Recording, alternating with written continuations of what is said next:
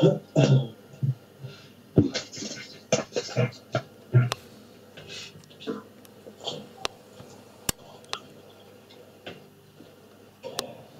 ну что, давайте помолимся и начнем.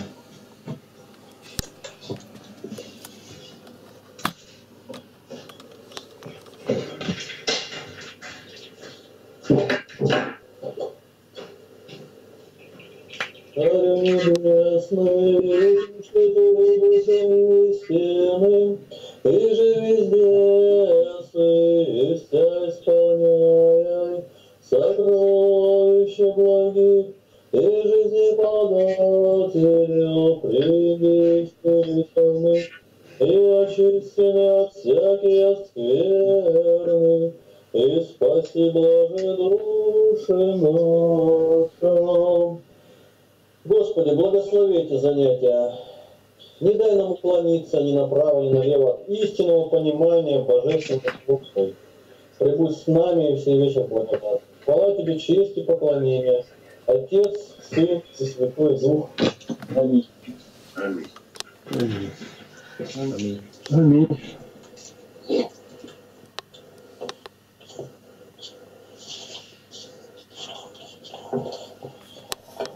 Так. Мы продолжаем первое послание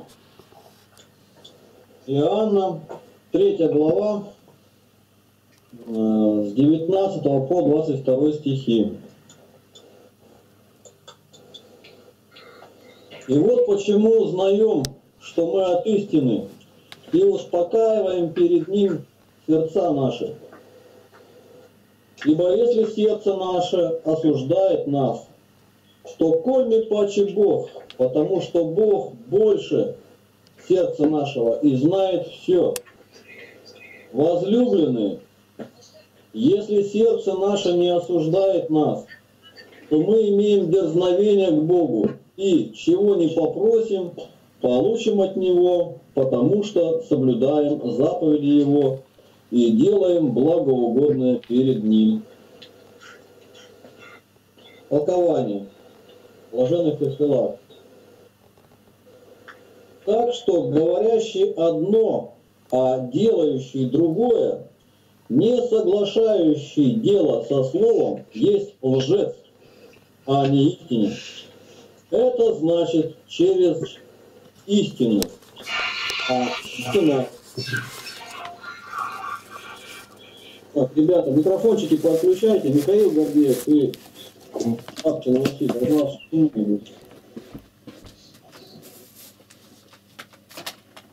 Это значит через истинность, а истина будет в нас тогда, когда словам нашим будут соответствовать дела, мы успокоим совесть свою. Ибо словом сердца он называет совесть. Как же успокоим? Поставив себя в такое положение, чтобы произносить нам слова пред свидетелем Богом, ибо это значит слова пред Ним. Если, говорит, не будем делать так, и совесть или сердце наше осуждает нас, то, очевидно, мы согрешаем. Если же вы, если же мы во время греха не можем укрываться от совести своей, которая ограничена, как и человек, существо ограниченное, то тем более не можем укрыться от Бога беспредельного и вездесущего. Смысл этого изречения такой. Дети, не будем лжецами друг перед другом, любя одним только языком, но докажем любовь и делом. Поэтому узнаем, что мы от истины, то есть от Бога. И что говорим, будем говорить как бы перед Богом.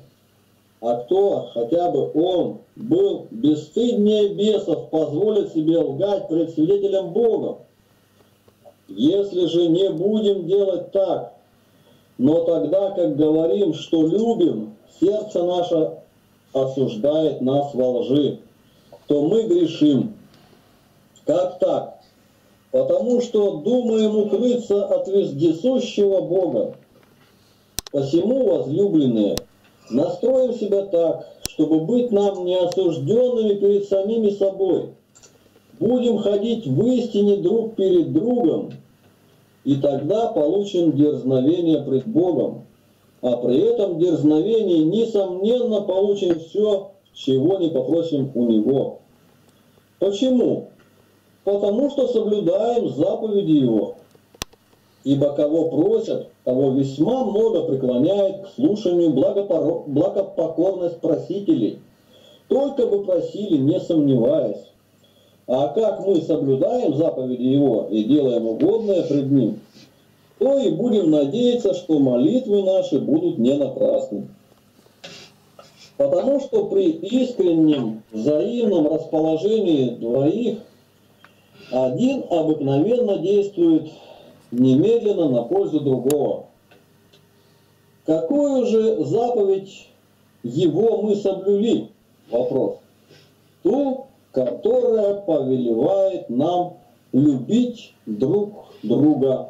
Об этом читаем в Евангелии от Иоанна, 13 глава, 34 стих.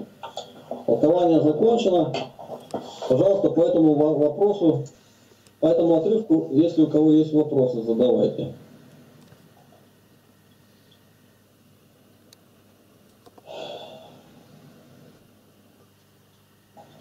Нет вопросов? Нет. Михаил, у вас на груди что написано?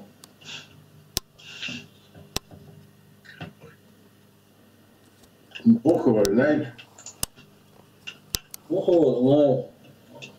Ну, Я читал, э, немецкий-то учил в седьмом классе еще, 40-50 лет назад. По-моему, тут их бин написано. Их бин, дубист, эртист. Вот это помню. Она очень хорошая, удобная, тонкая, и это ХБ. Вот и все. В квартире жарко. Он Владимир Молчалин улыбается, он, наверное, знает перевод. Какой Владимир улыбается? Ну, Молчалин. Ну, пусть, пожалуйста, читает. Ну, тут еще он что-то показывает, видишь? Ну, не, вот, палец какой-то. Да, вот так показывает. Может, там непристойно какое-то написано, а вы надеваете, не нет, знаю. Нет, нет, нет, нет. Непристойного нет. Шистер, по-моему, это шистер стрелять или убивать.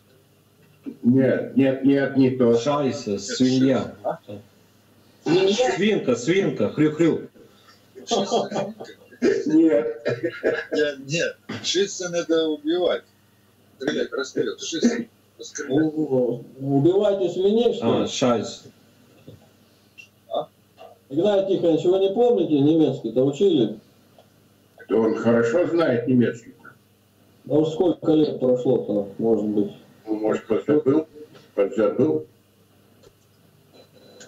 Ну, давайте не останавливаться на футболке. Я сниму. Сейчас. Отключить сниму. О, отключился? Пошел. Нет, все нормально. Что за Так. Алло. Продолжаем дальше. Э, читаем первое послание к Иоаннам, третья глава, с 23 по 24 стихи. А заповедь Его та, чтобы мы веровали во имя Сына Его Иисуса Христа и любили друг друга, как Он заповедал нам. И кто сохраняет заповеди Его, тот пребывает в Нем, и Он в том а что Он пребывает в нас, узнаем по духу, который Он дал нам. Толкование. слово «та», то есть «а заповедь его та», э, должно разуметь в, в значении причины именно так, потому что заповедь его есть веровать. Так как мы имеем заповедь веровать во имя Иисуса Христа, Сына Его, и любить друг друга, и мы сделали это, то отсюда и узнаем, что благодать Духа Его, которого Он дал нам, утвердилась в нас. Нужно знать, что выражение «веровать во имя Господа нашего» употребляется во многих местах Писания. Что же значит имя? Конечно, не иное, что как волю Его, славу, честь. Например, в словах «Велико имя Твое по всей земле», читаем в Псалме 8, 2 стих, оно означает славу и честь. А в словах «покайтесь и докрестится каждый из вас во имя Иисуса Христа», читаем в Деяниях 2.38, означает волю Его. Какая же воля Господа Иисуса? Крестить все народы во имя Отца и Сына и Святого Духа. Об этом читаем в Евангелии от Матфея в 28 главе 19 стихе. Господь заповедал нам любить друг друга с истинным расположением. Когда же? Когда же сказал, как хотите, чтобы поступали с вами люди, так и вы поступайте с ними. Читаем Евангелие от Луки, 6 глава, 31 стих. Если мы любим, чтобы ближние наши имели к нам истинное и бесхитростное расположение, то и сами должны иметь к ним совершенно такое же расположение. А как это заповедь Господня, то когда мы пребываем в нем, тем более Он дарует нам самого себя, ибо Он не может отречься сам от себя, то есть нельзя допустить, что Он напрасно дает нам заповеди свои и не оправдает их прежде всех сам. Если же так, то когда мы исполняем заповеданное им без сомнения, и Он послушает нас в прошениях наших и дарование Его будет твердо в нас. Целая мысль такая. Мы должны веровать во имя Сына Его Иисуса Христа и любить друг друга истинно, как Он заповедал. Ибо соблюдающий заповеди Его в нем пребывает, и Он в нем. А что Он, Господь, пребывает в нас, это мы узнаем по духу, духу с большой буквы, или дарованию, которое Он дал нам. если оно пребывает в нас ненарушимо, то без всякого противоречия даяние его будет неотъемлемо. Когда же оно бывает нарушимо? Когда мы из-за заповеданного им нам о любви ничего не нарушаем по нерадению своему.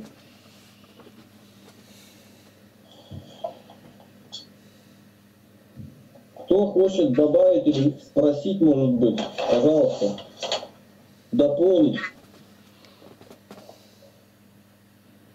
У меня есть вопрос серьезный, я не знаю, как на него ответить. Вот здесь 1 Иоанна 3 глава, да, говорится, можно, да, мне сказать? Да, да, да, да.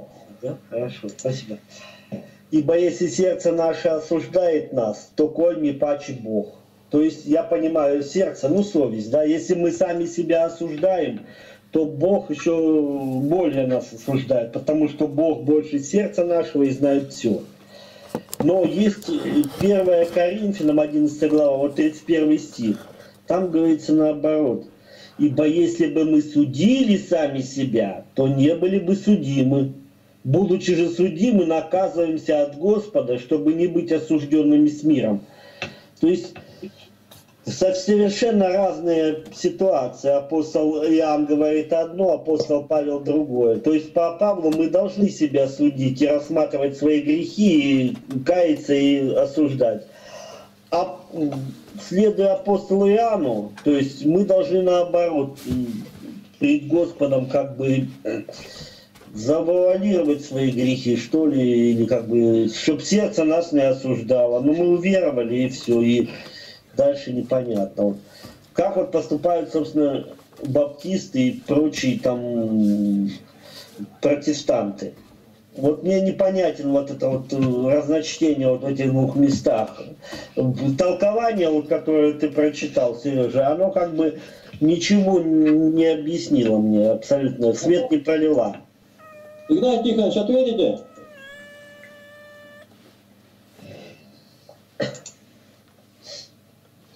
Игнатий Тихонович, вы с нами? Что-то тишина. Попросили, его нет. Так, но я тогда отвечу. Э, я не вижу здесь никакого противоречия. С чего ты э, взял, что у Иоанна мы не, себя не судим? Здесь как написано, что если сердце наше осуждает нас, то мы имеем дерзновение к Богу. Нет. Если сердце осуждает, если наше сердце осуждает нас, то коль не паче Бог, то тем более Бог. Тем то есть более, мы... То есть Бог если... более... Но это же не говорит, что мы не должны себя сами осуждать. Что нашу, на, на нашу совесть нужно заглушить. Давай опять. Ибо если сердце наше осуждает нас, то коль не паче Бог, потому что Бог более сердца нашего и знает все. То есть, если мы... Нет, продолжай, Сереж. Сереж, прочти дальше. У меня, у меня, извиняюсь, у меня есть комментарий, э, есть проблема с переводом. Николай. А позвольте прочитать, как английская версия дословно, и это, в принципе, и греческий вариант. У меня есть стронгелский, я сейчас хотя, смотрю. Хотя можно, да, можно посмотреть и церковнославянский, я это не подумал, ага. Хорошо. Посмотрите, здесь речь идет не тем паче Бог осуждает, а тем паче Бог знает это. А, вот оно что, да, проясняется. Он знает. Э, и он вездесущий и все Он знает, конечно, если сам... Я говорю, э, да, дальше-то толкование говорит, что он вездесущий, то есть совесть наша ограничена, а Бог не ограничен. То есть здесь говорится только о том, что Бог все знает. То есть сердце наше должно нас осуждать. А то как, вот Бог осуждает, а сердце... Э, слова... Да. Вот Игнатий Тихонович сказал, что совесть это тот участок души, через который слышится голос Божий, Библия. Вот я понял почему. Здесь просто если мы до конца не раскаялись, и сердце наше еще осуждает, то тем более Бог, потому что Он знает все. Вот. Все, слава Богу, да. Тем более Бог знает. И коль ми паче Бог стоит в квадратных скобках, это добавлено комментарий от переводчика в русском тексте. Коль ми паче Бог. Это вот эти три слова в квадратных скобках. Братья, хочу спросить, а почему вы читаете Бог? Бог это левый Бог, правый Бог.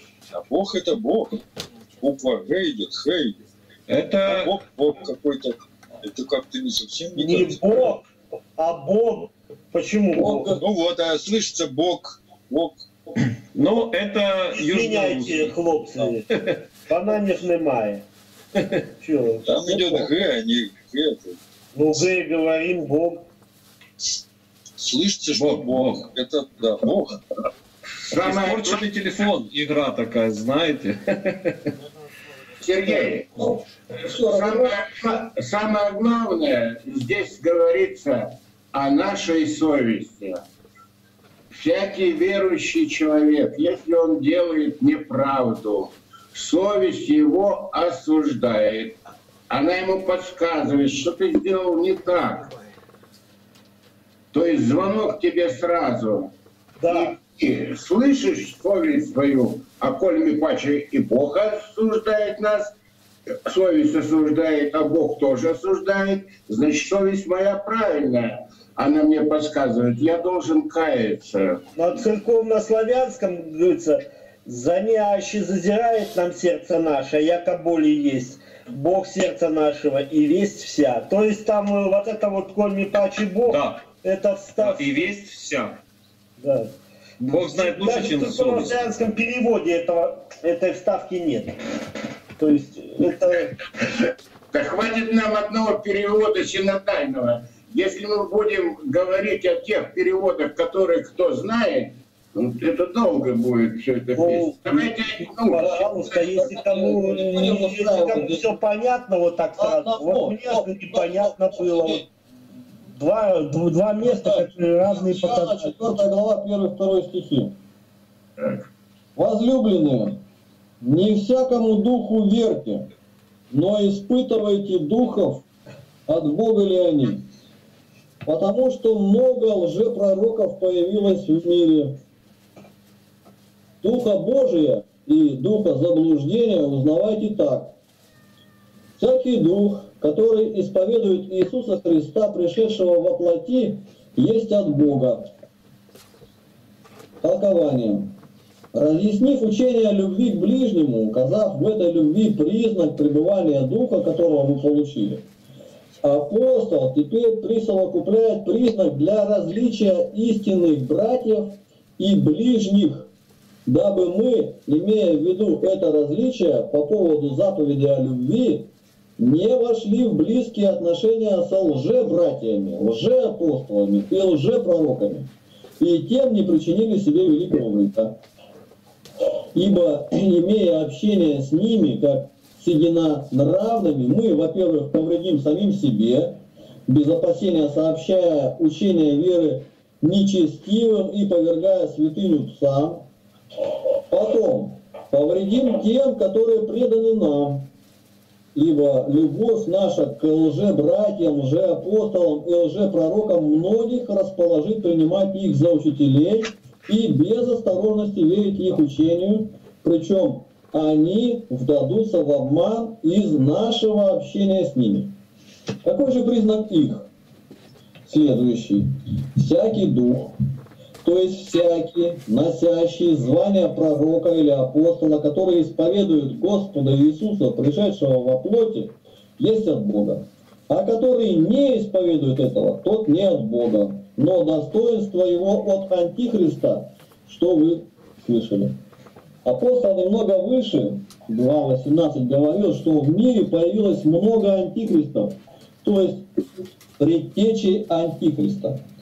А исповедание пришествия Христова во плоти должно совершаться не на языке только, но и в делах, как говорит апостол Павел, всегда носим в теле мертвен, мертвость Иисуса, чтобы и жизнь Иисусова открылась в теле нашем. Читаем во втором послании Коринфянам 4.10. Итак, кто имеет в себе Иисуса действующего, умер для мира, живет уже не для мира, но для Христа, и носит его не в Христовой только плоти, но и в своей собственной, тот от Бога. А кто живет не для Христа, но для самого себя и для мира, то есть для удовольствий мирских, тот не от Бога. Посему Павел опять говорит, если между вами есть споры и разногласия, то не плотские ли вы, и не по человеческому ли обычаю поступаете? 1 Коринфянам 3.3. Поступающий по обычаю человеческому не имеет Духа Христова. А кто не имеет Духа Христова, тот, то есть не живет по учению Христову, тот не есть Христов. Ну вот, пожалуйста, давайте порассуждаем. Тогда были уже в то время, когда писалось Евангелие, лже-братья, лже-апостолы, антихристы, я не знаю, надо их подразделять, еретики.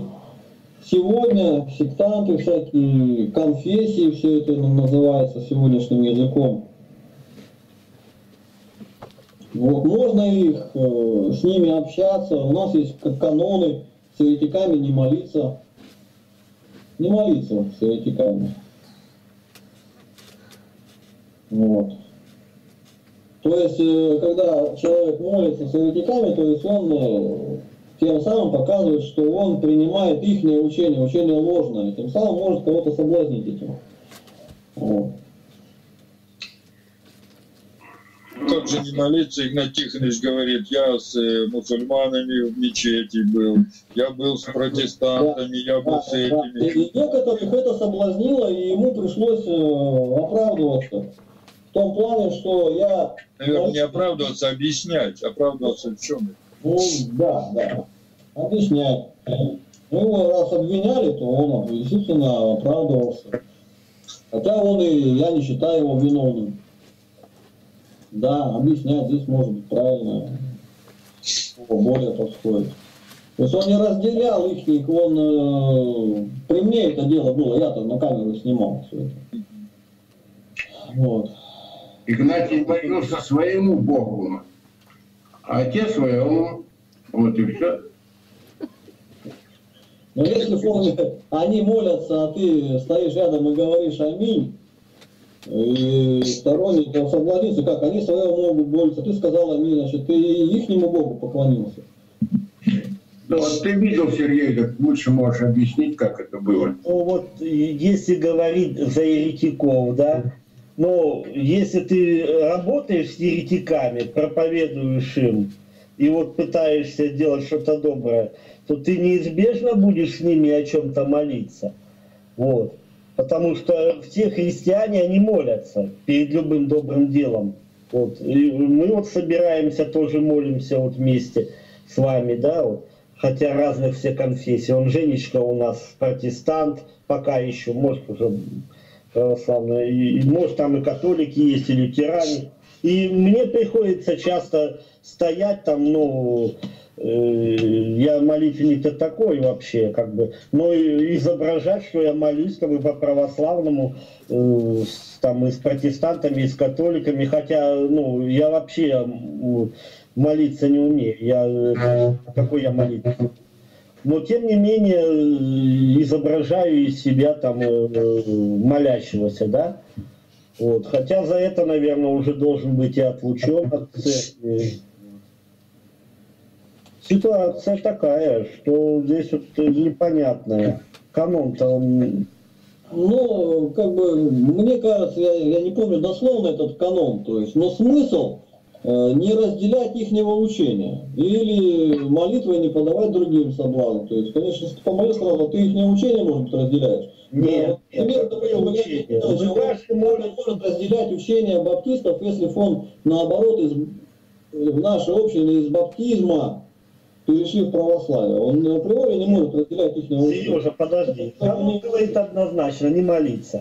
Вот я пришел с одной целью. Мы встретились там, допустим, там с католиками, да? И, ну а что ж, естественно, мы вместе и помолимся, да, вместе и помолимся, и в конце там я скажу аминь, вот, э, и просим, в общем-то, об одном и том же. Но каноны запрещают это делать, почему непонятно. Вот, э, ну, просим мы, естественно, не богатство каждый себе, там, а чтобы прийти к единцу, там, чтобы Господь открыл истину, вот, как и положено, да.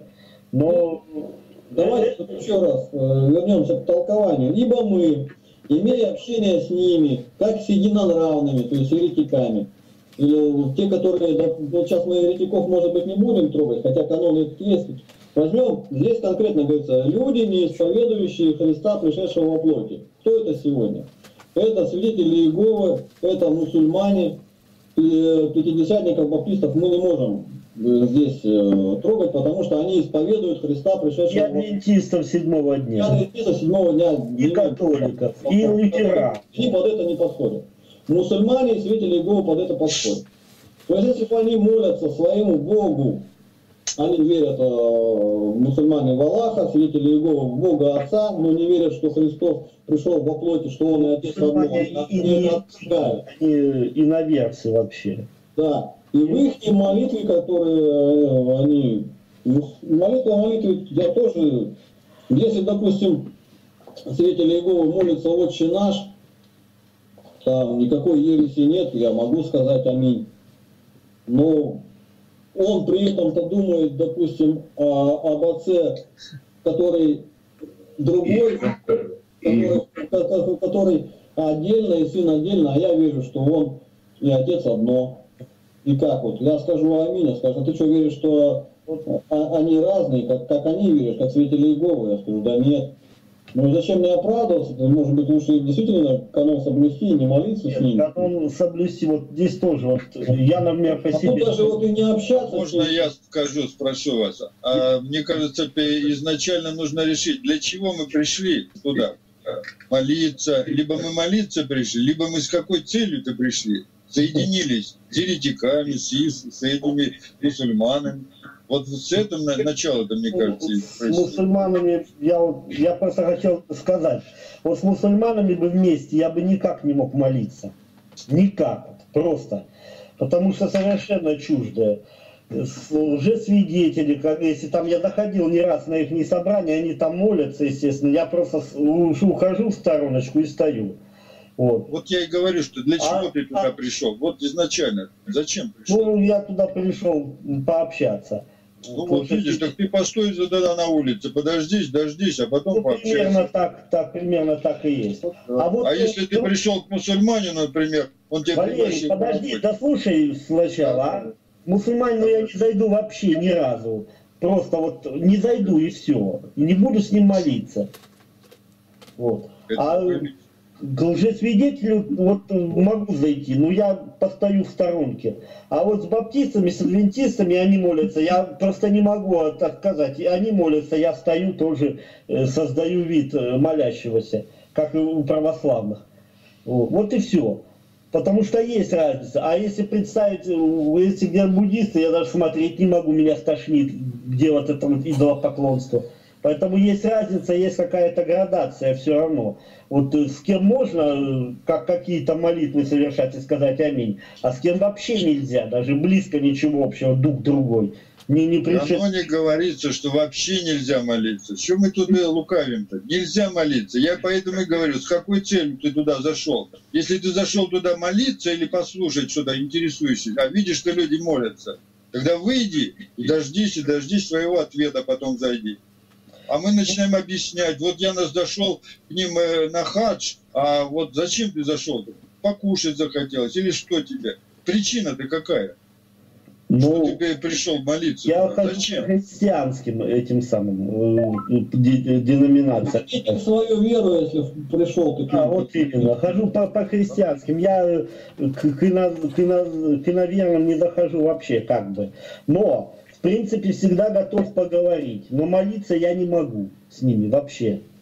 Если с, как бы с инославными я еще могу помолиться, вот если о, о чем-то, ну, я говорю сразу, не молитвенник, а создать вид, что я, я так. Но здесь не, не, никак. Ну, Я, так уже, уже свидетелями я никак не могу, это самое. То есть я сразу в стороночку отхожу, они там еще молятся, там, а, ну или как, мо- можно назвать молитвой. А потом это, никаких аминей, никаких ничего. Все, на эту тему пока отложим. Давайте третий стих. Первое послание Иоанна, четвертая глава, третий стих. А всякий дух, который не исповедует Иисуса Христа, пришедшего во плоти, не есть от Бога. Но это дух Антихриста, о котором вы слышали, что он придет и теперь есть уже в мире. Толкование. Апостол говорит, что Антихрист уже в мире. Разумеется, не самолично, а в лице лжепророков, лжеапостолов и еретиков, предваряющих и приготовляющих его пришествие. А сам Антихрист будет человек, носящий в себе сатану, превозносящийся выше всего называемого Богом или святынею. Читаем во втором послании Фессалоникийцам 2.4. Почему не запретит служить идолам, их разумел апостол под святынею, а себя одного будет выдавать за Бога? Вот у меня сразу вопрос, почему толкователи святынею именно вот идолов ну, нам толкуют, что здесь речь об идолах. Тоже второй Фессалоникийцам открывает толкование, тоже святыни, идолы. Я считаю, что святыни наши святыни, тут и Бога, и святыни, то есть Бог с большой буквы написано. Почему они решили, что это идолы? Кто знает?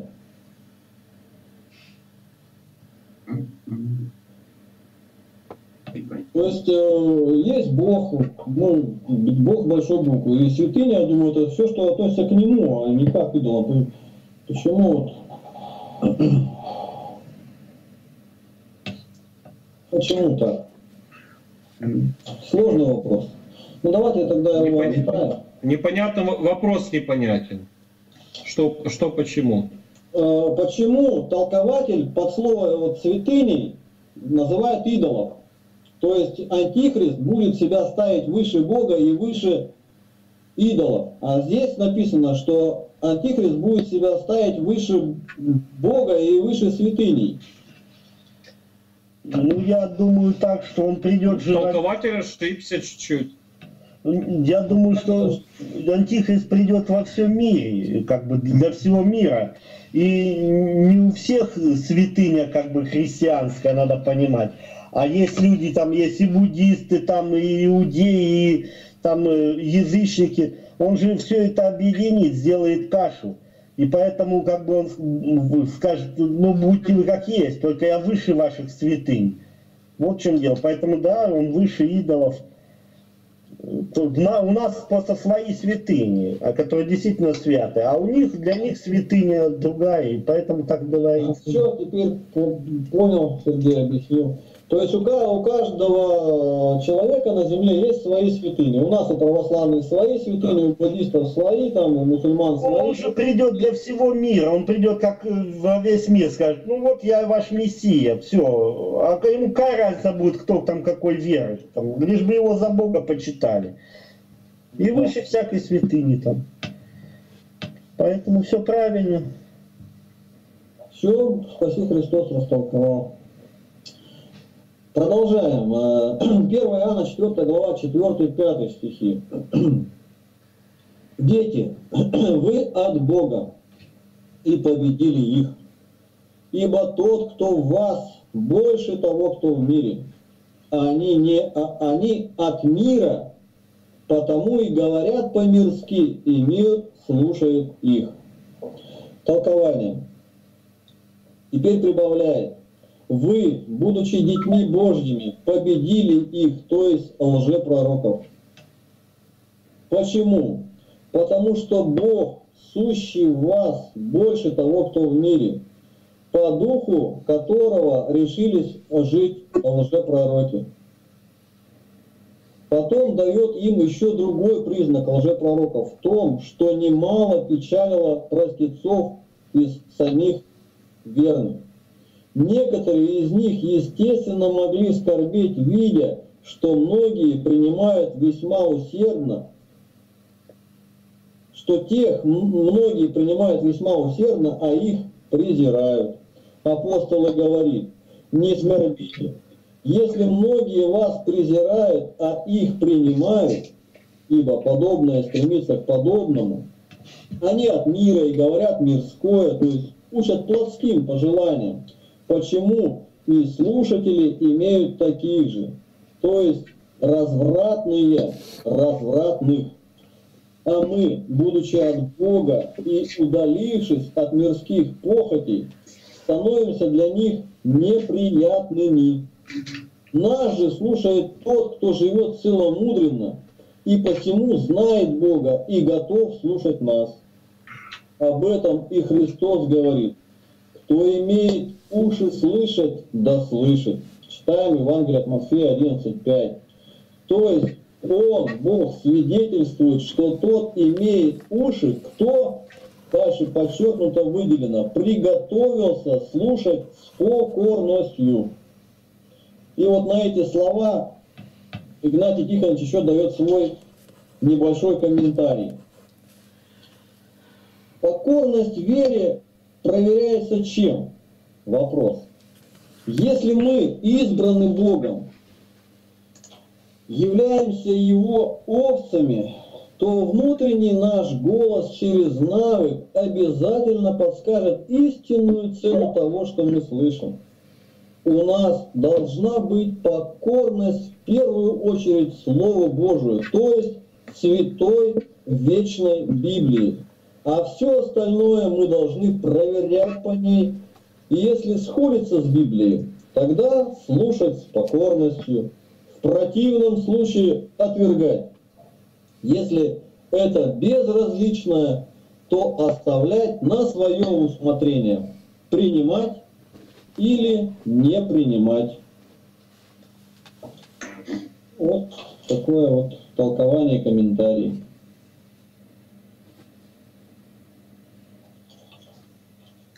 Ну, не нужно, да, удивляться и скорбеть, что нас не слушают, и нас вот мало. И много уже братьев, которые говорят по-мирски, и мир слушает их. Слушает. Подобное слетается к подобным. И Христос говорил, Это же вопрос скорее слушали меня, будут слушать вас, гнали меня, будут гнать и вас. Дух. Дух. Будьте единомысленны и единодушны, так Господь хочет. Как мы с Отцом одно, так и вы будете одно. Да, Ник, говори.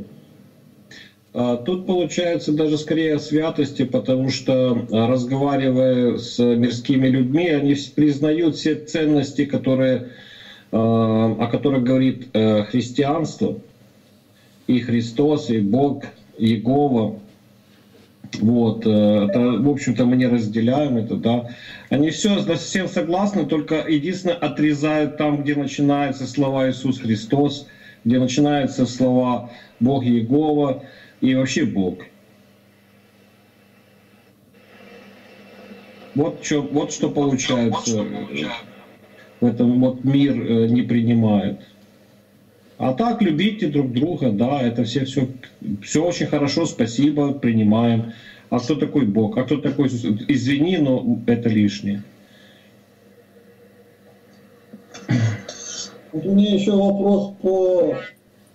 А это первая заповедь. Да, вот сейчас отрезаем сло- имя, все, это первая заповедь. Нет никого, кроме Бога. Вот как э, узнать? Бог говорит, любите друг друга. И вот вопрос там задавали, а, любите братьев, а кто твой брат, а кто не брат, а надо его любить, а может быть он лже-брат, а как проверить? Ну, вот пе- первая проверка. Тут Да надо- никак. Нет, э, если исповедуют Христа, пришедшего во плоти, то уже от Бога. Дальше могут быть какие-то разногласия, там, например, вот, э, священство некоторые отвергают, там, ну как-то с ними еще можно там разговаривать. А которые не признают Христа пришедшего во плоти, ну, он что получается, и бисер перед ним не метать, он все равно не поверит. Это Нужно. Вот это получается в этом смысле. свиньи псам тоже. Кто такие свиньи, кто такие псы, кто может э, сказать? Нужно принять всех людей, которые исповедуют Христа, Иисуса, пришедшего во плоти. В какой бы конфессии он ни находился, но заблуждающимся человеком и больше ничего. Если он знает Христа и молится он, и можно с ним беседовать и говорить, и, пожалуйста, говори о своей вере православной. И говори, насколько она правильная, если можешь ты говорить. Вот это все покажи свое православие. Так, чтобы он понял красоту этого православия, верность по толкованию святых отцов, вот тогда будет хорошо.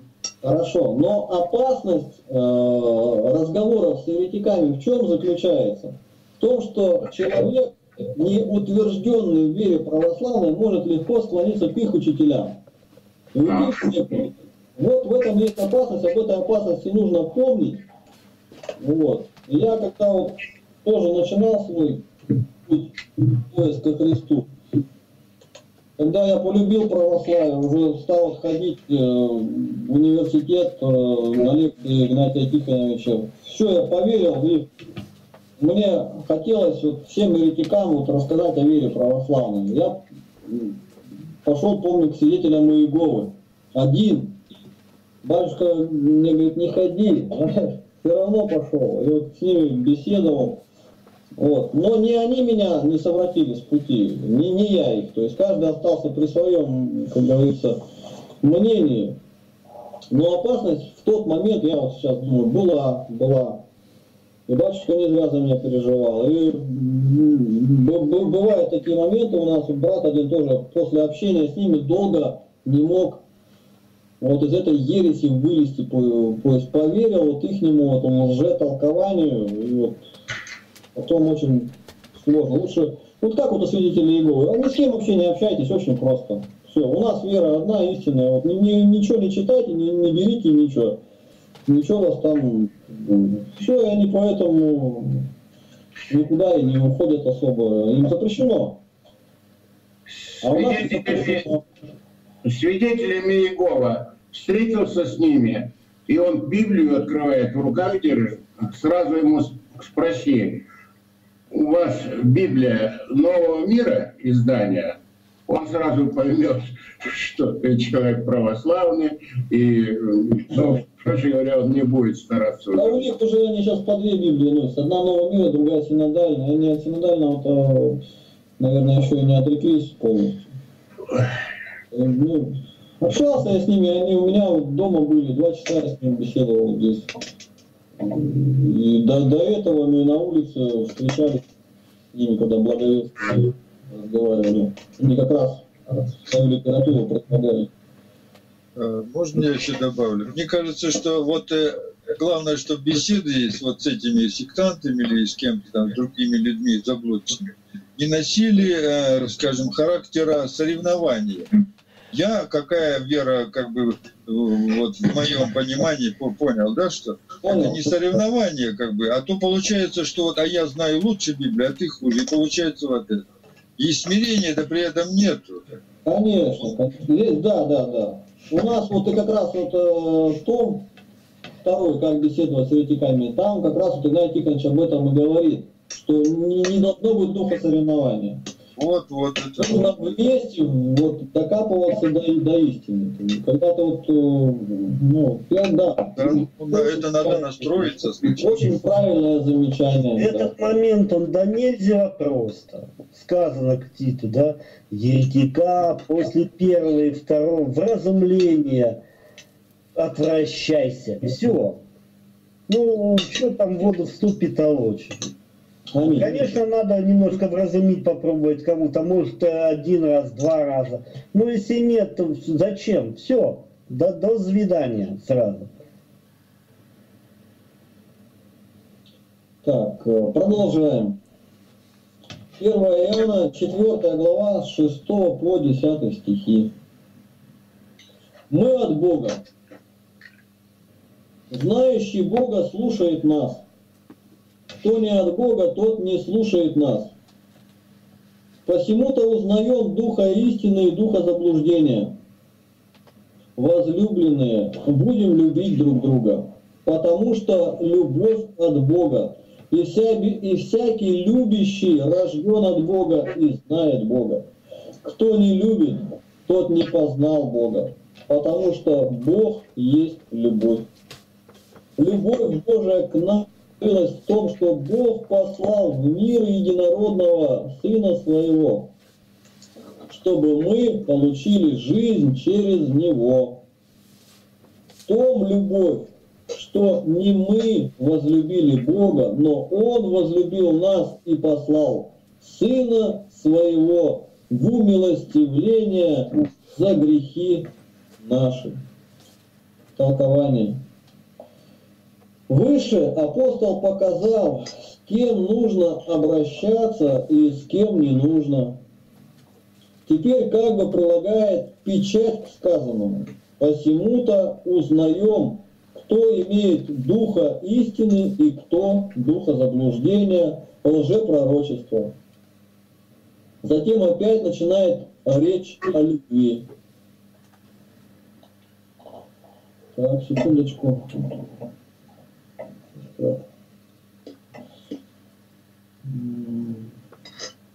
Затем опять начинает речь о любви, показав, что нужно любить некоторых именно единонравных, возвращается к тому, что говорил вначале. Говорит, что любовь и любящий от Бога, что любящий и только он рожден от Бога и знает Бога, а не имеющий любви не знает и Бога. От чего же тот, кто не любит, не познает Бога? Это подтверждает следующим образом. Бог есть любовь. Это видно из того, что Он Сына Своего Единородного послал в мир, чтобы Он доставил нам истинную жизнь, и мы ожили через Него.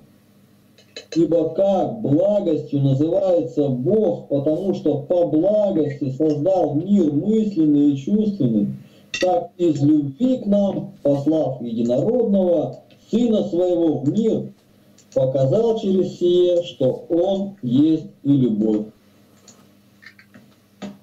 Посему и прибавляет в том любовь, то есть сим и доказывается, что Бог есть любовь.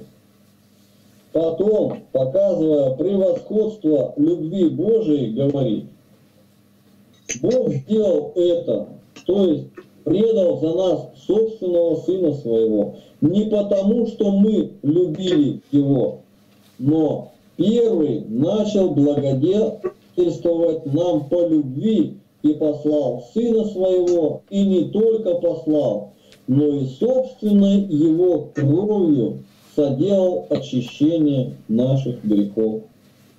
Если же говорит Бог так возлюбил нас, хотя мы отнюдь не одинаковой с Ним природы, то гораздо более мы должны любить, любить сродных нам и, узнав превосходство любви, оказывать ее другим. Ибо как виновен тот, кто не избирает достойное избрание, так похвала принадлежит тем, которые любят достойных любви, потому что они возлюбленные. Мы же, расположив себя так, имеем то и другое, мы и любим, потому что нас любят и воспринял к себе в дети Бог. Мы возлюбленные, возлюбленные, потому что любим ближних. Ну, что тут сказать?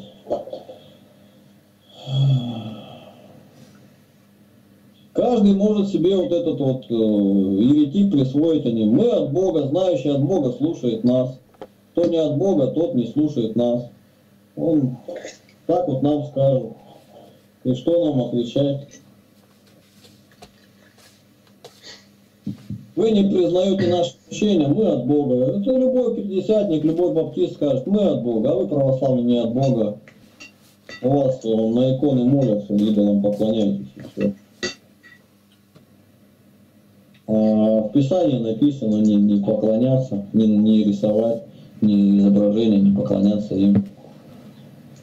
И все, и который не знает, не знает, что ответить. Ну, рот откроет, и ой, как интересно, пойду к вам.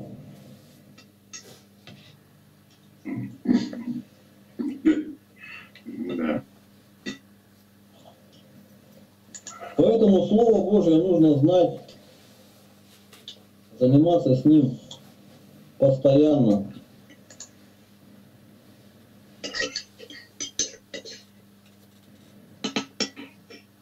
Чтобы знать, что ответить.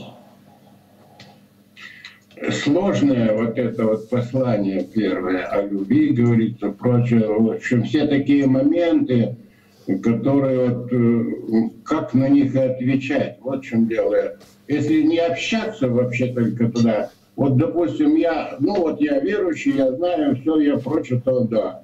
А вот эти все, ну раз их не знаю, да и вообще не общаться с ним ни с кем.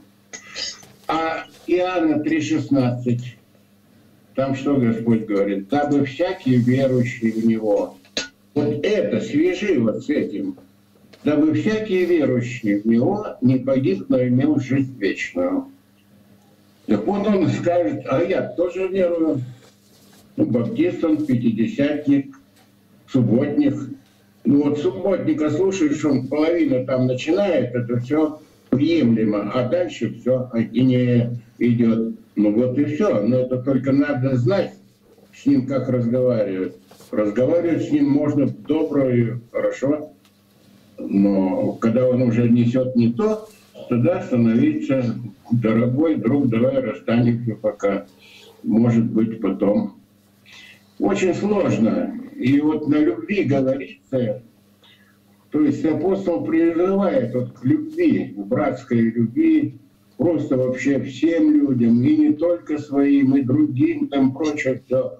Это как бы христианин, вот если он уже истинный христианин, который познал Бога, который служит ему и заповеди исполняет, и его это призывает к этому, он будет делать добро, независимо, кто он там против него стоит. Любому человеку. Но наибольш своим, поверь, это ясно. А так вообще должен быть доброжелателен ко всякому человеку. Но если видишь, что он делает абсурд, что-то не то вообще, или что-то он хочет так, то нужно противостать или отойти, и все. Да, ну опять повторяет, что, что вот нам и Сергей Ильин сказал. После первого и второго разумения Да. отвращаться. Ну, Принимай, по- помолись о нем, может быть, придет время. Примет. Чтоб не оскорбить кого-то еще. Тоже. Ну, там и не только, говорю, оскорбить, оскорбить. Есть опасность самому стать еретиком. Вот. Я думаю, нету. Нету. Ой, Сергей, да ты что? Ну, ну кто нас может отлучить от этого, что мы имеем сейчас? Ну, полноту православия, вот это все. Я испытал всякое. Побывал везде и послушал многих. Вот и все. Ну, э, кто стоит, написано, бойся, кто думает, что стоит, бойся, чтобы не упасть. Многие потерпели кораблекрушение и уверенность. И Петр я за тобой, Христос, хоть на край земли, я... А Христос что ответил? Трижды э, отречешься от меня.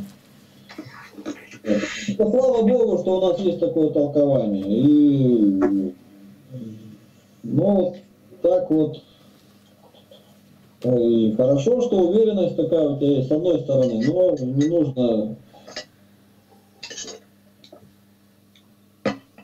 бойся, чтобы не упасть. Страх Божий должен быть, тогда ничего не потеряешь. А страха Божия нет, как вот.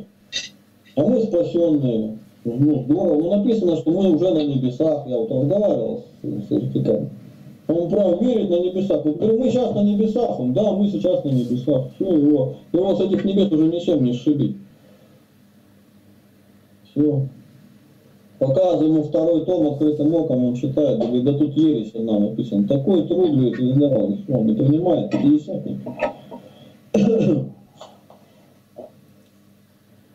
Так, сейчас у нас прошел, сейчас э, последние полчаса вопросы-ответы.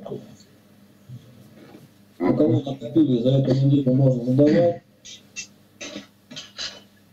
Если вопросов нет, то будем дальше продолжать.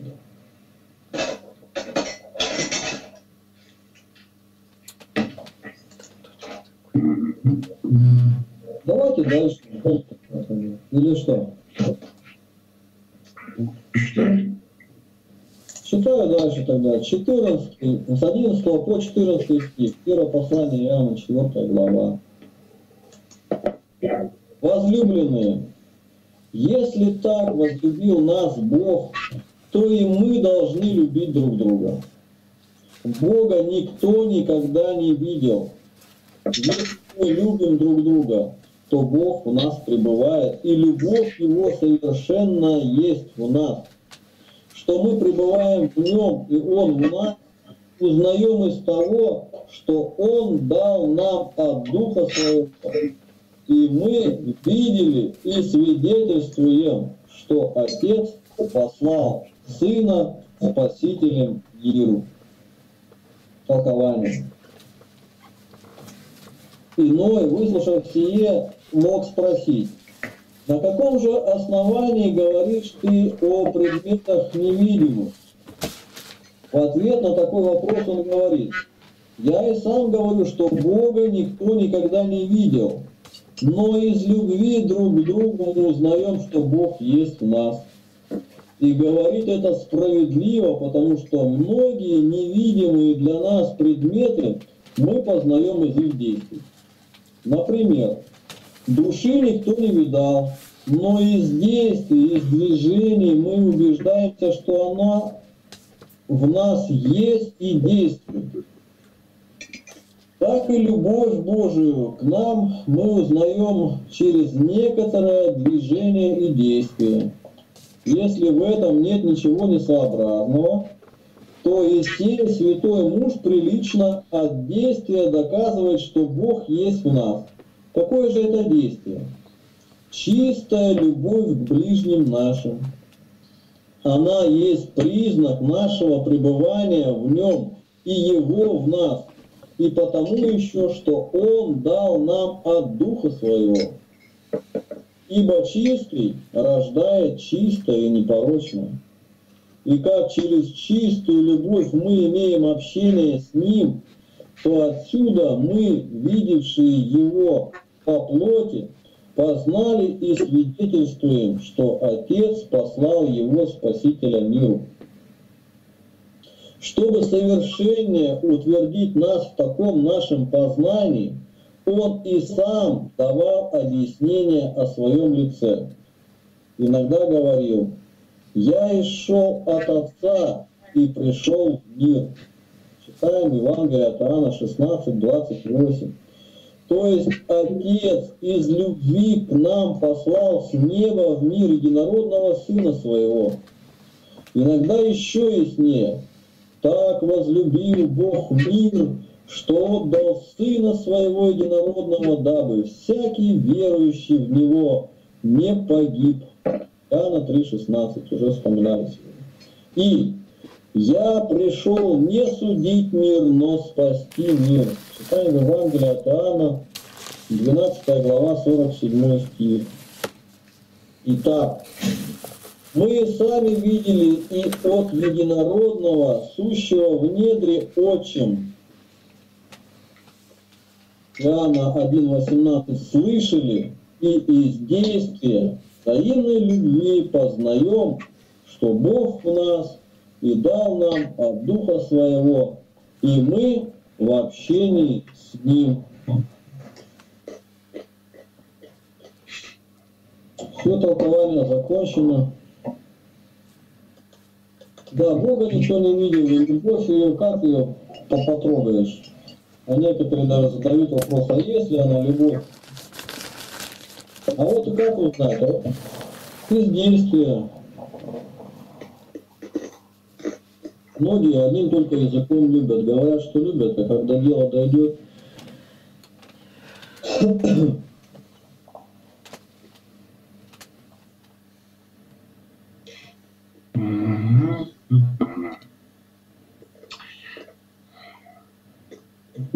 Не мерою Бог дает Духа Святого. И вот, как ты сказал сейчас, говорит «люблю», а как дело коснется, вера у него истекает. Уходит дух, оставляет. Вот и все. Когда брат этот пламенеет духом, тогда у него все это будет в контакте. Вот и все. Это с каждым так случается.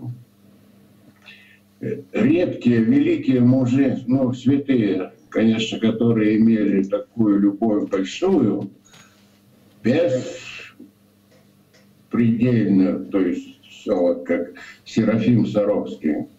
Вот, пожалуйста. Мы слабы, я слаб очень сильно. И мне это все очень так, это все это, ну, вроде да, вот так. Ну вот, Коля, заговорили о любви, есть еще такое понятие любвизм. Тоже мы о нем частенько приходится говорить. Раз вот ты меня обличаешь, ты меня оскорбляешь, ты меня не любишь. Есть вот такое мнение. А вот обличающий-то как раз он и хочет тебя исправить, чтобы ты из-за своих ошибок в аду-то не оказался. Вот это и есть истинная любовь. Душу полагает, проповедует тебя, наставляет тебя, исправляет тебя. Конечно, тебе неприятно, дух противится в тебе. И вот тут, а Бог есть любовь, а ты мне такие слова говоришь обидные. Вот. Все, шиво, шиво на Это очень серьезно, извиняюсь, э, нужно понимать, что есть любовь э, в Божьем понимании. О чем речь идет? Это очень важно. Это потому что все заповеди у нас о любви. То есть люби Бога, люби ближнего. Все, и Бог любовь. И, в общем-то, вот здесь надо четко понимать, что есть любовь. Это, это очень важно. Ну, 10 заповедей Моисея. Есть... 4 заповеди о любви к Богу и 6 заповедей о любви к ближнему. Любовь к Богу чем то Ну, я даже сказал 5,5. Нет, 4 6. Ну, это основа. Да, это основа, конечно. Закон Божий, заповеди Божии, это, это есть любовь э, по отношению к человеку, чтобы он не калечил себя, вот, и имел жизнь вечную. Так вот, обличение, например, это заповедь Божья. Если ты видишь согрешающего, и он умрет, и кровь его будет на тебе, но если ты... Да, то есть помни, да, то есть это, это любовь, это, это любовь. А, но есть, можешь обличать так, что сам согрешишь. Вот.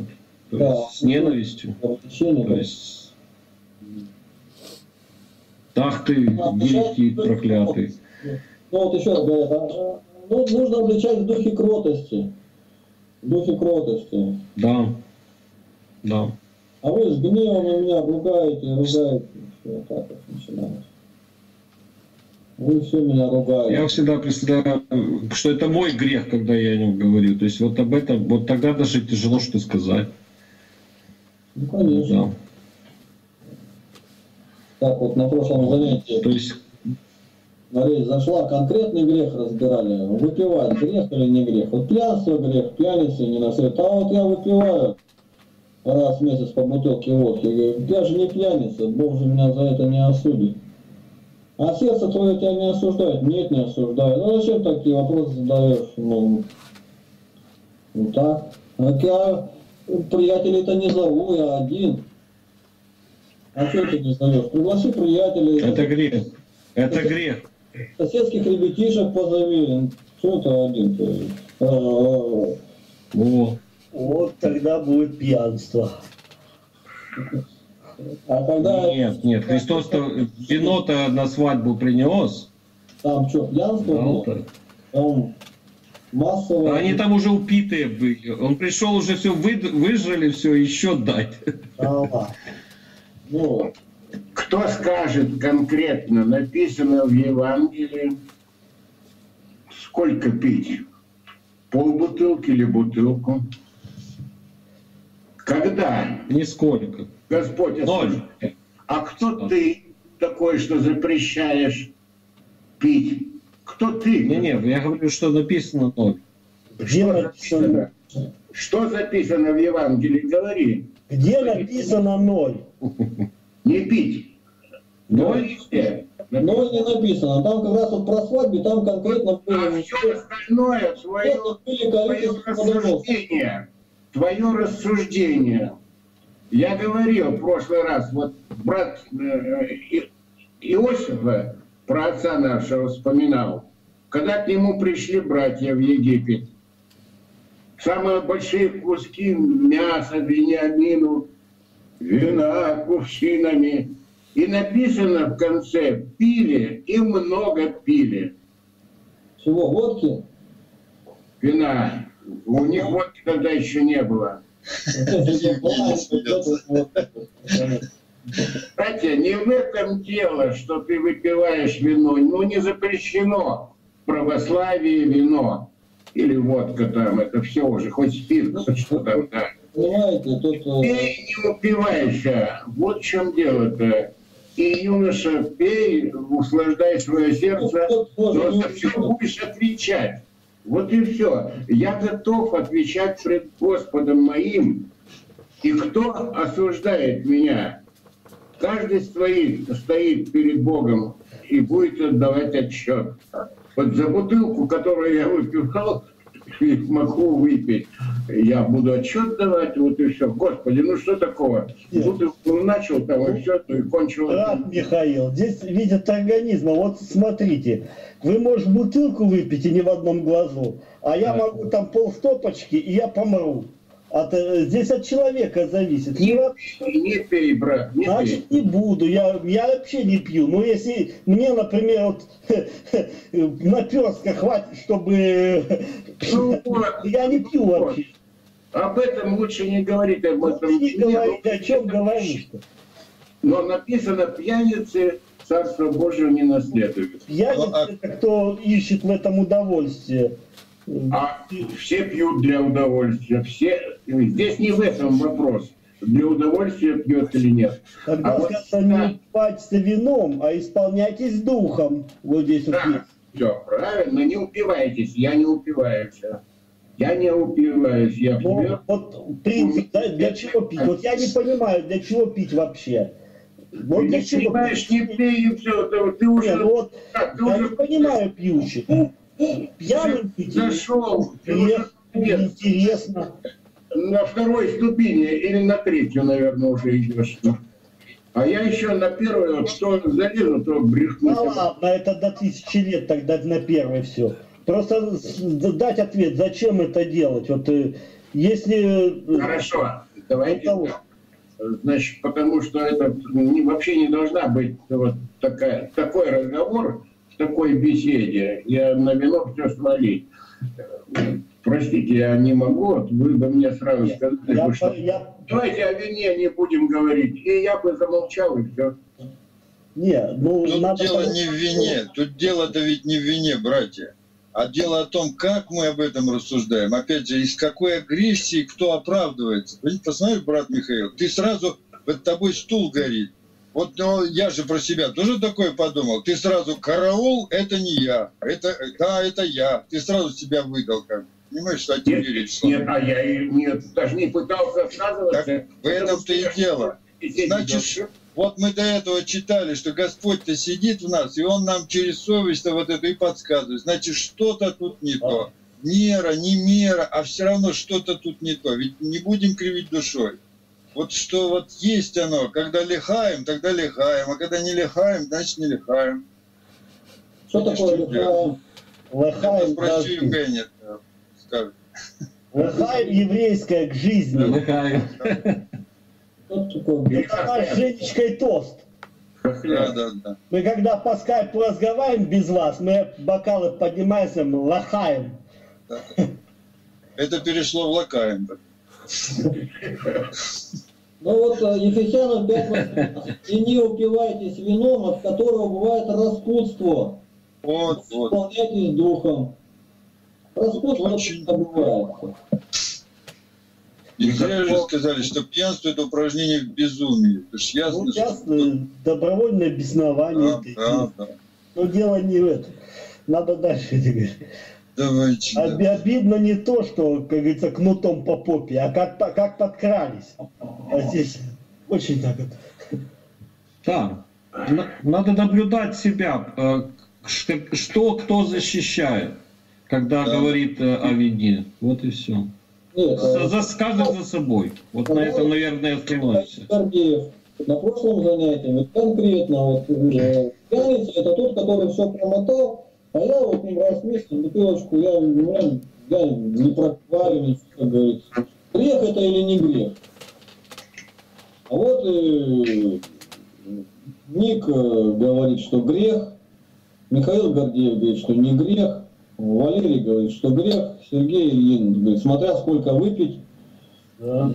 и мнения разделились. Нет, я говорю, что ничто не чисто само в себе, но э, Михаилу я ему, я, я ему скажу, вот, вот как бы, допустим, если я вижу, что идет защита греха, то есть подсознательная какая-то, то есть ну, бунт, Я да, чувствую, то есть это как ты мне скажи, где это написано, все, больше мне ничего не надо говорить.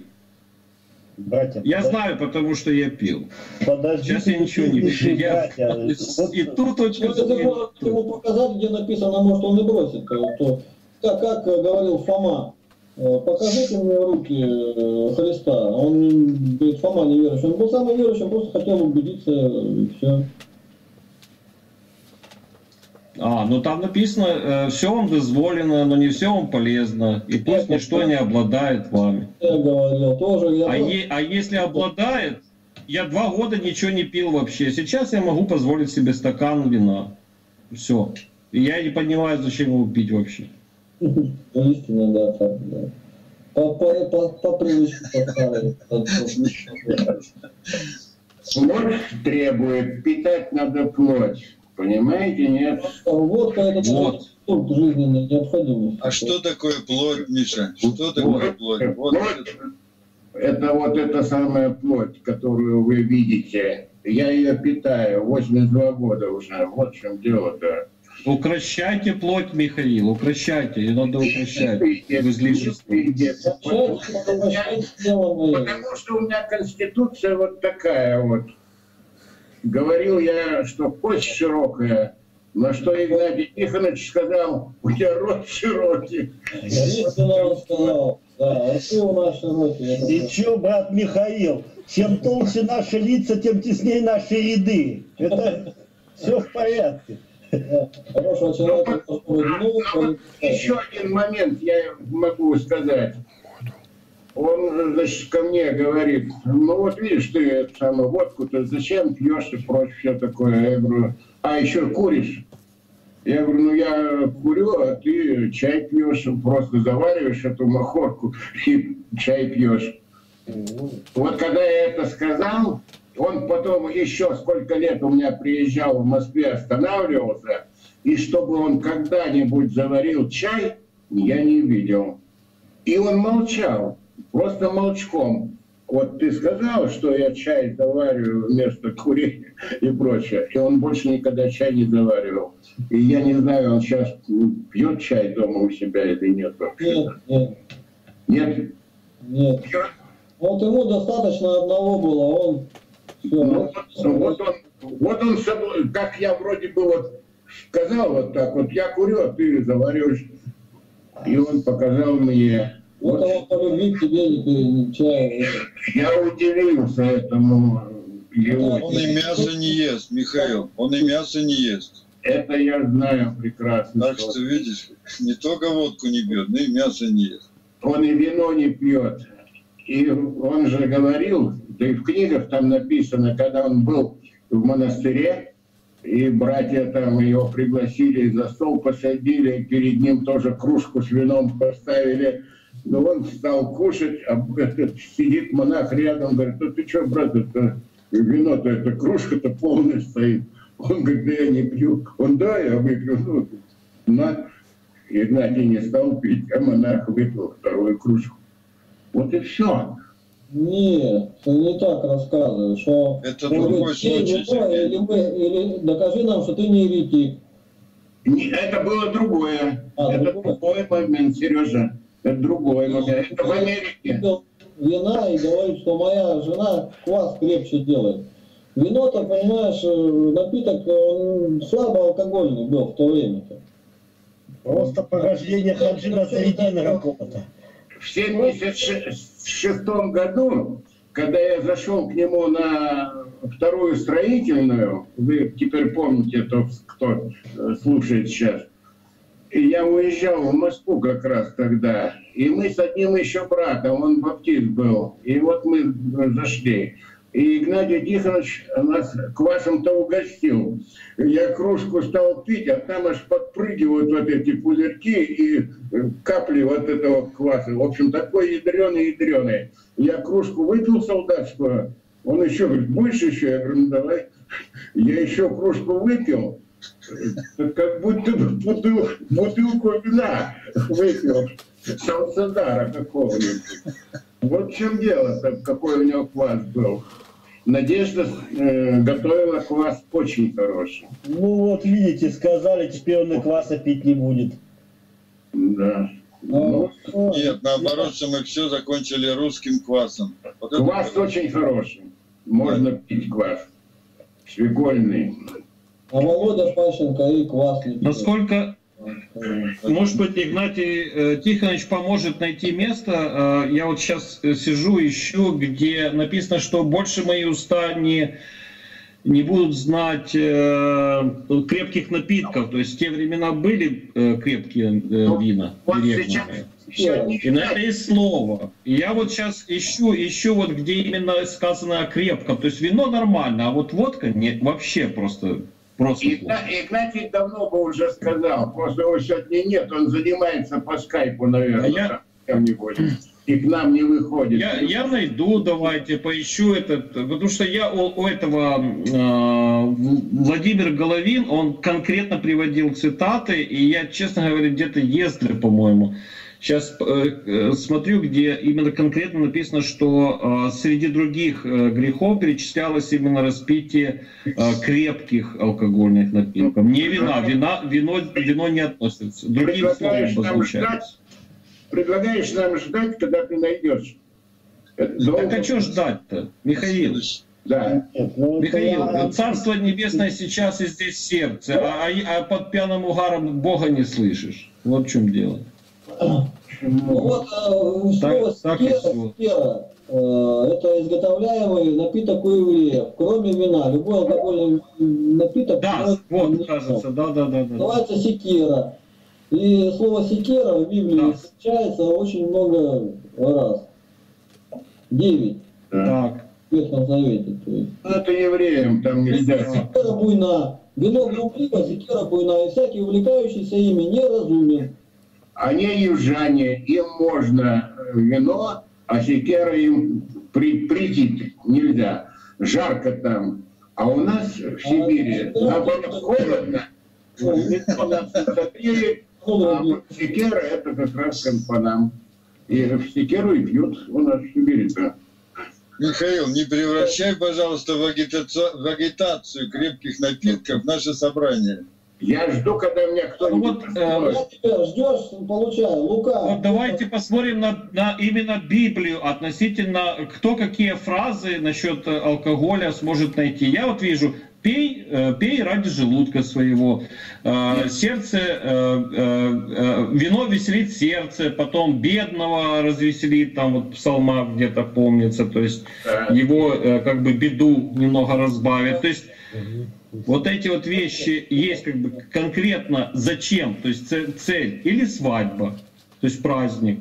Так. То есть, допустим, праздник без вина, я считаю, это грех. Ты Новый Завет-то признаешь, Вот и все. Ми- Михаил Гордеев? Да? Новый Завет признаешь? Новый Завет? Да. Ну а как же, я не христианин, что ли? Христианин признаю. Не только Новый Завет, всю Библию. Предтечу Христова знаешь такого? Иоанн. Ну, он не пил секера, что-то с детства. Лука 1.15. Можешь прочитать нам вслух? О, Да у меня э, Библию-то я не читаю, у меня слаб, слаб глазами, я в компьютере. глазами, но я тебе прочту. Евангелие от Луки, 1 глава, 15 стих. А и об Иоанне Крестителе говорится. А, ну, «Ибо я знаю.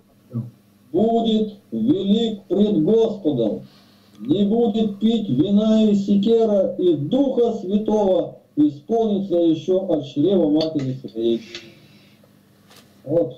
А кто пьет секеру, значит не велик пред Господом, и Духа Святого не исполнится. Давай это Сережа, Сережа, подожди. То, что Про касается... него, про него Так, Михаил, можно я скажу пару ласковых? не восставал больше из пророков, как Иоанн Креститель. Но это вообще солнце такое, на которое вот только равняться. Вы равняете? А мы э, Почему греш... мы на тебя равняться, а не на Иоанна Крестителя-то? мы грешные люди здесь все. Не надо обобщать. Ты грешный, ты выпиваешь. Я не хочу выпивать. Я, я хочу, как Иоанн Креститель. Какие-то крайности страшные. Да. не- непонятно. Иоанн Креститель, да, это тот, кто не, не, до- не дотрагивался до вина и секеры или до виноградной лозы, но это его подвиг. Христос на последней вечере взял хлеб, преломил примите, едите сие из тела мое, за вас ломимое. А мы о Пейте. сикере говорим, о водке, а не о вине, брат. Нет, я говорю вообще, а, а- а там э, Иоанн так Креститель вина не пил. Он вообще не дотрагивался до виноградного лозы. Вот Я- что делал. Сергей уже об этом сказал. А вот когда ты начал теперь про это, то вот, пожалуйста, баптисты вот читают о том, об вине-то там прочее, а впереди там что написано? Друг друга ждите, когда собираетесь на вечерю. И вот порассуждая об этом, Ну, ну и пивается бывает даже. некоторые упиваются, уедаются уже, а другие пришли, им ничего не осталось. А Вот это вот Вот что, друг друга ждите. Вино пили, бапти... то есть вот в Новом упиваться в одиночку не надо, нужно других подождать, когда все соберутся. В Новом Завете написано, что упивались и Нет. заходили на Господню. Конечно, на тайной вечере вы собираетесь не для того, чтобы есть вечерю Господню. Там, естественно, нельзя упиваться. Упиваться вообще нельзя. А Но дело в том, что если друга ждите, как, так лучше пусть он дома водку один пьет, чем он будет соблазнять чего и сколько. Он в меру выпьет и все. А, так- а если с друзьями, так там какая же мера может быть? Там и Ой, бутылка, и все. Один, никого не, не Вот и все. Брат Михаил, он, э, в, в одно лицо, там, сказать, э, полбутылки или бутылку выпить, там не заметишь. А зачем? А при- зайдет к нему в гости, там, помолиться кто-нибудь, а и составит ему компанию не, нечаянно, и все. Там пьянка будет, дым коромыслом. Лучше не надо. Почему дым коромыслом? Нет, ни грамма ничего. ну. Меня один баптист предлагал, приглашал, когда я еще был баптистом. Это, ой, сколь, в 70-е годы. И он мне, ну, ты знаешь, можно вот так прийти, приходить, встретиться, там, бутылку там вина выпить, можно там прочее, все такое. Я говорю, да как же, нельзя же, ну тут у баптистов, я принял это все, нельзя ни пить, ни курить, я вообще не курил, не пил, все прочее.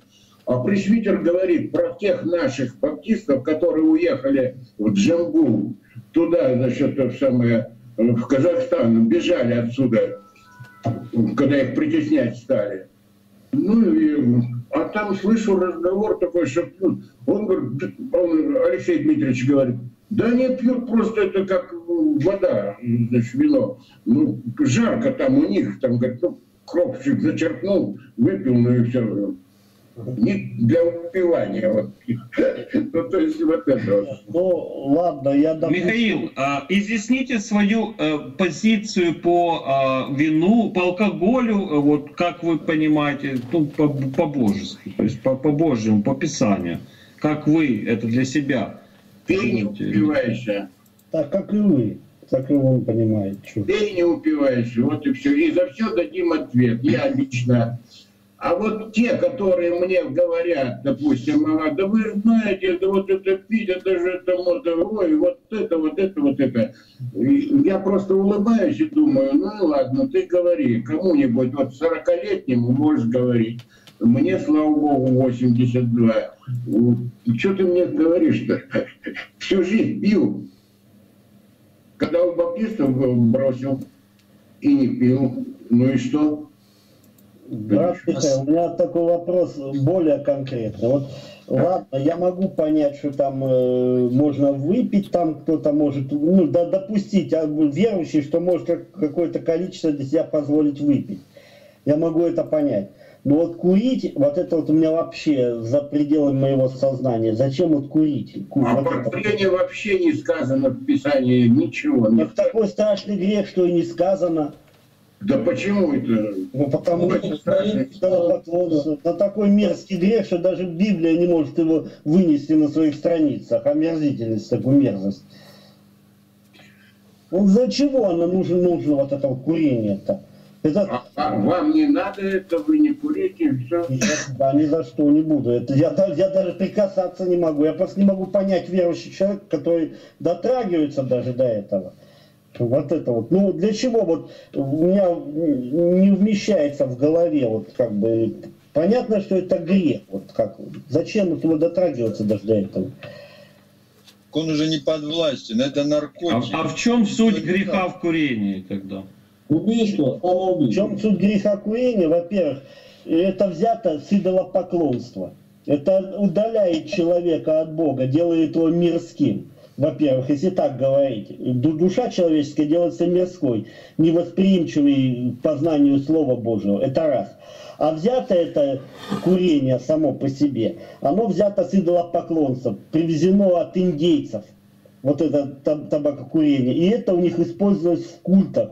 Они служили своим идолам. Поэтому, а у нас это используется как Ну, это, страсть. это, это, это Да. точно не в этом. Точно А не в этом. А Да, Проблема в том, что а, это Минутку. трата средств. а, Минутку. Да, я А святые, Молчу. которые курили, это что? Какие Святые. святые курили? Иоанн Кронштадтский. Он бросил и сказал, что это бесовская кадильница. Я брошу тоже, может быть. Вот сейчас бросаю, бросаю уже. Аминь, аминь, помоги, Да. Господи, давайте Да, да, помолимся да. Михаил, Вот правильно. Давайте мы все помолимся за Михаила, Давайте, чтобы он бросил давайте. курить. Да. Давайте, я... Давайте я два слова скажу по Господи, поводу курения. Давай, Ник, говори. Да. Э, Смотрите, там проблема с этим курением, что это греховная трата средств. Вместо того, чтобы потратить их, отложить и раз в неделю каких-то 10-20 долларов сиротам перечислить, уходит воздух. А второе, извините, какой из тебя благовестник, если ты пыхтишь? Все. Все. Какие, как исполнять заповеди Евангелия? Тебя слушать никто не будет. Это Там дымишь и С воняешь этим. так же, так же и с выпивкой. Как если от перегаром нельзя, Конечно. про Христа рассказать. Ну, это перегаром, я думаю, там не несет, но, но это, это с курения это вообще, конечно, ограничивает исполнение заповедей Евангелия. Просто-напросто делает тебя бесплодным. Один талант взял, вот есть, вот сейчас сидите, сидим, кто курит, да, там это все вот, и что? Взял талант, и видишь, и ты не идешь дальше. не- То есть есть как бы этот талант, да, потому что изучает там человек, допустим, верующий, да, то есть Давайте примем... как-то тянется. что А, а как приносить плод? Как приносить плод? Все. Ну и последнее это самоубийство, да. Вредная привычка. Грех против тела. А вы видите только грех против тела. Я вам говорю, что та- талант, где твой талант? А я не мог, меня никто не слушал. Да, конечно, никто не слушал. Э, Потому что, ну, как можно, вот э, как бы надо э, как бы какую-то хотя бы элементарную... Она бы, еще, эта привычка связана с наркотиками. Это же не просто так я не могу бросить, потому что я не хочу, а я не могу бросить. Тут уже на замещении в организме организм сам вырабатывает никотин, а мы его этим через курение, мы его забиваем, этот, э, эту способность организма вырабатывать никотин. И поэтому ему надо все больше и больше и больше. Ну, это как любой наркотик. Поэтому Это рабство, сложно. да. по-. И здесь скроется еще такая, что в случае чего еще и предать Христа можно будет. Вот где-то там что-то, да не, я лучше пойду там покурю или еще что-то там, не знаю. Да. Не, это серьезная вещь. Там, то, что там ты свое тело заморил, это уже мало, это за это, не, за это, как говорится, в гиену не пошлют. А вот э, талант один назад зарытый принести, потому что это си- сильно ограничивает. Я вот вижу, что это... Особенно здесь в Австралии вообще никто не курит, так это вообще... Все, молчу. Ну Можно скажу тоже, да, по поводу курения? да. Э, Я как курильщик со стажем, да, водитель, дальнобойщик. И могу сказать одно, да, сперва там балуешься, потом то, это, втягиваешься потом и больше, больше, и пачка, и две. Бросить невозможно практически. Просто для себя сделал вывод такой, что это страсть. Сейчас, конечно, не курю, болезнь там, ну и до болезни я бросил, я решил этот, э, правиль- ну, как бы, да, исправиться. Ну и, собственно, возможно, и это и было бросание, даже это рецидивом, что болезнь начала, там, да, вот эти нервный, нервный шок, там, вот такое вот все. То бишь, это на самом деле страсть. И я думаю, что, не знаю, как там в Писании, грех это не грех, но любая страсть это грех. А если там хоть и вино, хоть и сигареты, если это страсть, а страсть это очень быстро и легко превращается. Вот, э, поэтому я считаю, что бо- больше именно грех страсти. Вот так вот. Ну да, а плоды то, что я сказал, конечно. Ну, а какие могут быть? Да. А какие плоды? Ты, у тебя У страсти ты могут быть. Да. устаешь в два раза быстрее, у тебя производительность труда падает, элементарно даже помочь кому-то, ты уже, а я лучше, блин, полежу там, вот, ну, ну как, ты постоянно в таком полу... Мне это знакомо не понаслышке, это, это мой грех э, был, и... Ну, вот. Михаила, видите, ему Господь и родители ему даровали богатырское здоровье. Богатырское здоровье и всего. То есть это богатырь, который среди нас, вот, э, вот как я вот смотрю, нет таких богатырей, а, как он. По здоровью я имею в виду. Так что ты должен Я- гордиться действительно этим талантом и превоз... и- Я, Михаил, честно... а, извините. Да-да, нет, нет. Ладно, я Прос- Простите. Я говорю, Михаил первый раз вас увидел, э, и честно думал, когда вы сказали 82, я думал, вы шутите, шутите, честно, я бы вам больше 60 не дал. Могу показать паспорт. Верю, верю, вы же, вы же православный. Ты коллега мой. Ты откуда вообще сам-то? Где живешь? Я в Бишкеке, в Киргизии. А, Ну, в бывшей Фрунзе. Это в самом знаю, да, или в Покровке там, в Новопокровке? Нет, в, в- Воронцовке. Это выше в сторону гор. А, Я- э, Я знаю, что город Фрунзе очень красивый, но большое баптистское собрание. Там фотографии у меня были. там уже несколько собраний баптистских. Ну, Так, на а всей- Коллега ты мой, я всю жизнь почти шофером. Да. На самосвалах работал, прочее все. Хорошего понемножку, да? Да, да, да, да, да.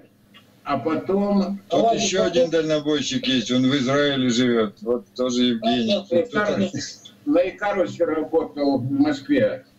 Там я пошел, туристов возил. Ну давайте помолимся. Хорошая сегодня встреча была, братья. Мы все в этой жизни, можно заключить так, дальнобойщики. Надо нам к той цели идти. На Правильно, ноте. правильно. Я борюсь с этим, борюсь.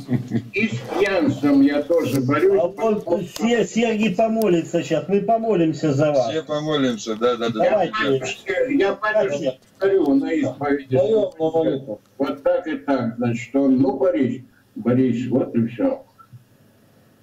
Господи, всякого истину, блажи Тебя, Богородицу, ясноблаженную и пренепорочную, и Матерь Бога нашего, честнейшую Херувим, и славнейшую без сравнения Серафим, без искрения Бога словорушую, сущую Богородицу Ты величаем. Господи, благодарим Тебя за это занятие. Помоги Михаилу избавиться от этой страсти пагубной, от курения и от алкоголя. И как Ты меня исцелил от их страстей, так и его исцели. Помоги, Господи.